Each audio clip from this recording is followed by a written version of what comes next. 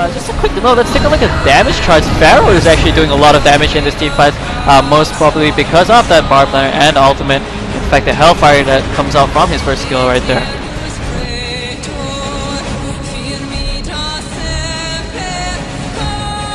Unfortunately, it does hit the illusion. Out comes the eruption from Magmus, but the Tempest ultimate is gonna be easy to back off. Moraxus is gonna stun it as well. And look at the Shogun Draconis, he's gonna do a lot of damage right there. Uh, take a look at that Magmus is in fact gonna have to back out right there, and very easily gonna take this.